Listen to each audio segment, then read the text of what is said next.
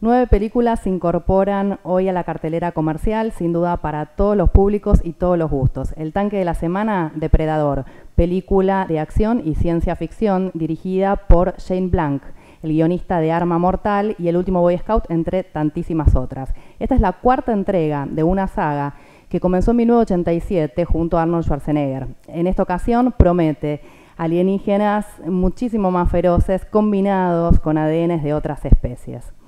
También de Estados Unidos llega una película de fantasía y algo de terror, alguna pincelada, muy liviano, pero para un público infanto-juvenil, que es la película titulada La casa con un reloj en sus paredes.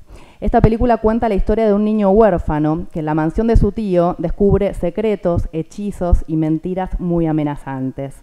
Eh, con dos grandes esta película, Kate Blanchett y Jack Black. Pero el terror, propiamente dicho, viene esta semana con Historias de Ultratumba, una película británica con un olorcito a cine independiente que escapa del terror sangriento y arranca en un registro casi documental, realista, sobre la historia de un detective, de un investigador de fenómenos y fraudes paranormales. Este hombre de a poco se va a ver envuelto en tres historias de fantasmas. Ahí el clima se va a volver cada vez más onírico, más amenazante y su percepción va a ir cambiando, al igual que la del espectador. También de Europa viene 1945, un, estreno extraño, sobre todo porque viene de Hungría, que es una cinematografía que no estamos acostumbrados a ver, por lo menos dentro de la cartelera comercial acá en Argentina. La historia se desarrolla en un pequeño pueblito, en medio de los preparativos de un casamiento muy particular. Van a llegar dos judíos ortodoxos y la población se va a revolucionar por algunos secretos que entre ellos mantienen, que están ligados a los horrores de la Segunda Guerra Mundial.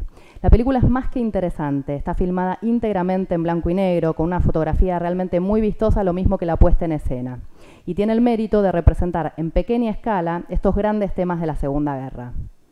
Por último, ya terminando con este panorama de los estrenos internacionales, la película Princesita, de la directora chilena, de la película eh, Joven y Alocada, una película muy controvertida y polémica que se estrenó en el 2012. Esta película va a situar la acción en, una, secta en el sur de Chile. Una película también eh, muy movilizante porque habla de temas del abuso, pero de un punto de vista y una puesta en escena y una puesta en cámara muy colorida, a modo de una fábula, horrorosa también.